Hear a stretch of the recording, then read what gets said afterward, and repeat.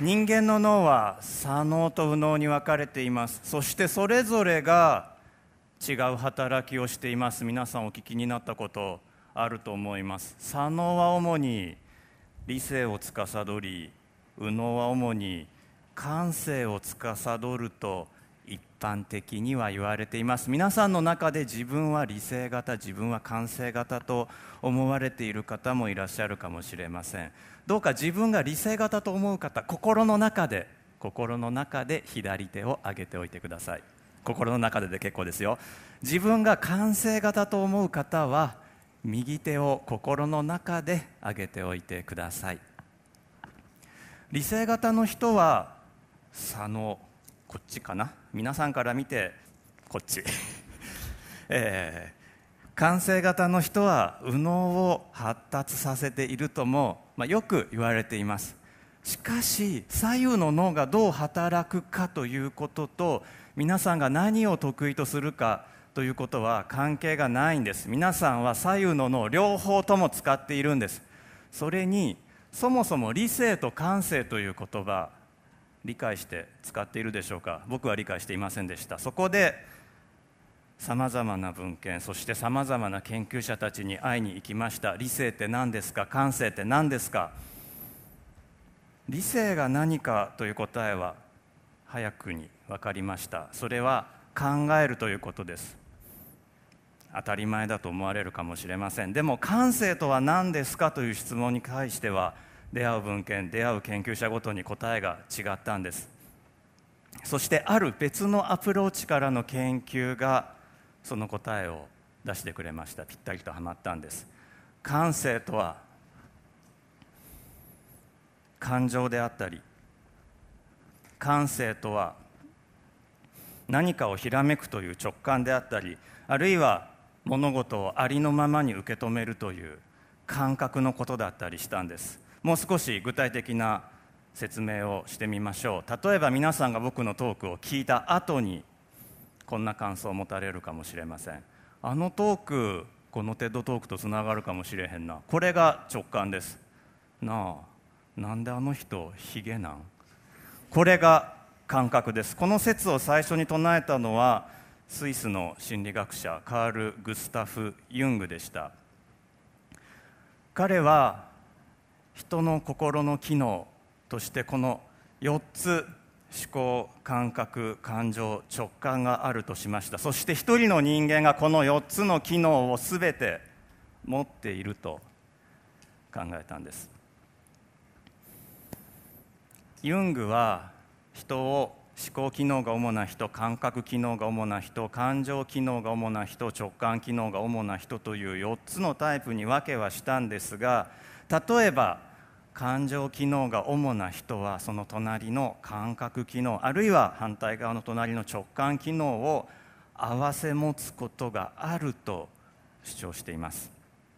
人を理性型感性型に分けるのではなくて心に4つの機能があると考えたわけですね。ところで皆さん科学者はどういう心の機能を使っていると思われますか？考えることが仕事だから思考機能だと思いますか？今うなずいてくださった方は僕後でハグしに行きます。ありがとうございます。20世紀を代表する科学者アルベルト・アインシュタイン。彼は現代の宇宙論をほぼ完成させた人物です。彼はこんなことを言っています。私はしばしば音楽で考える。彼は思考機能と同じぐらい音楽の才能という直感機能を大切にしたんです。チャールズ・ダーウィンは宗教観にまで影響を与えた生物学者です。彼は緻密な観察によって生物が共通祖先から進化するという進化論を打ち立てました。そして進化の構造を支える DNA DNA の正体を明らかにしたのは女性科学者ロザリンド・フランクリンでした。彼女が撮影したフォト51という写真を見た3人の男性科学者が後にノーベル生理医学賞を受賞しています。ジャン・アンリ・ファーブルは昆虫への愛を昆虫記という本に書きました。とても情熱的で美しい本です。現代ではファーブルは科学者として知られていますが彼はノーベル文学賞候補に挙げられていました。マリ・キュリーは放射能という見えないものへの情熱を生涯にわたって捧げ続けた女性です。彼女の研究は学会に認められず彼女は生活にも困っていた。にもかかわらず1トンもの鉱物の中からたった0.1グラムしか見つからない。放射性元素ラジウムをついに見つけたんです。彼女がいなければ我々の放射能への理解は何十年も何百年も遅れたことになります。中には万能の人だっています。レオナルド・ダ・ヴィンチは優れた思考能力研ぎ澄まされた感覚燃えるような感情そして何百年も先を見通す直感力の持ち主でした。彼は今から500年も前に空を飛ぶことを夢見て飛行機やヘリコプターの設計をしています。科学という一つの営みとってみてもこれだけの心の多様性があるんです。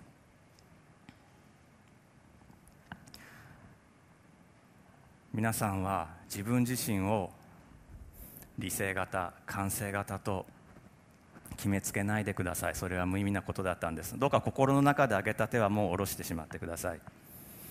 僕は学校の先生に言いたい。学校の先生よく聞いてください。この子は思考機能が強いから理系に向いているとか。この子は感情機能が強いから文系だとかこの子は直感機能に優れているから芸術系だとかましてやこの子は感覚機能に優れているから筋肉系だなんてタイプ分けをしないでください。もしあなたが学校の先生にそんなことを言われても忘れてください。例えば20世紀最高の天文学者宇宙が膨張していることを発見した人我々が住む銀河系以外にも銀河系があるということを証明したエドウィン・ハッブル彼は筋肉系なんです。忘れてください。